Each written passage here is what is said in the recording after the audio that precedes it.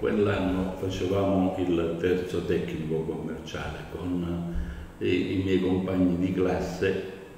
con i quali e con molti dei quali già avevamo iniziato insieme il primo anno, si era creato un bel rapporto, un bel feeling, una, una fratellanza diciamo. Ma c'era una mia compagna in particolare, Lina, che già dal primo anno sedeva sempre accanto a me, con la quale si era creata anche un pochino di, di confidenza come tra un fratello e una sorella.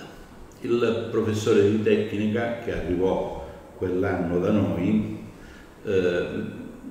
diceva spesso, ripeteva spesso che Lina sta adesso come la remola alla nave, perché era sempre attaccata, sempre attaccata al mio braccio per esempio quando andavamo in corridoio a prendere il paninello, a comprare il paninello dalla bidella. E non perdevo occasione però di prenderlo in giro, intanto perché io ero un paio di anni più grande di loro, perché avevo perso alcuni anni per la malattia alle, tra, tra, le elementari e le medie, e poi un po' perché forse un pochino imbranato lo ero, forse lo sono ancora, ma allora lo ero, lo ero sicuramente. Per cui io ero l'obiettivo dei suoi continui scherzi, me ne combinava di tutti, di tutti colori.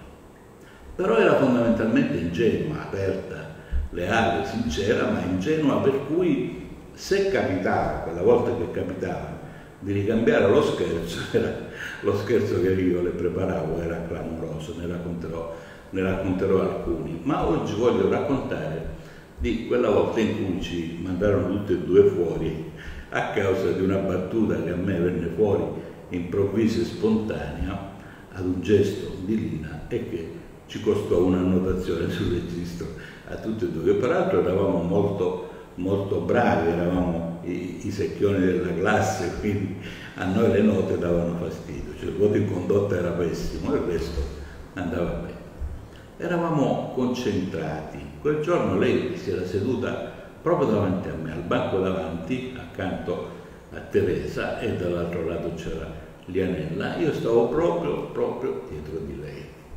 Ad un certo punto il professore di tecnica, ecco, che era un tipo tutto particolare, molto severo, non, non poteva volare o fiatare una mosca che lui la sparava, e eravamo lì tutti impauriti, tutti concentrati e ad un certo punto, siccome era irrequieta di suo, forse lo è ancora da nonna, ma era molto irrequieta, non riusciva a stare seduta sulla sedia normalmente come qualunque altra persona, come qualunque altro dei suoi o delle sue compagne. Per cui assumeva le posizioni più strane, più strampalate. Quel giorno decise di sedersi con le ginocchia sulla, di, di mettersi con le ginocchia sulla sedia e appoggiarsi sul banco, girando la sedia al contrario, la sedia rivolta verso il banco. Probabilmente questa posizione a un certo punto la portò a stancarsi, per cui le venne spontaneo tirarsi indietro e sedersi proprio sul mio banco. Io ero lì poggiato che seguivo la lezione e mi vidi proprio attaccato al naso il suo, il suo lato. Mi venne spontaneo gridare caccia stu cosi in gioco. Tutta la classe scoppiò a ridere e noi due ci prendemmo una delle tante e solite note.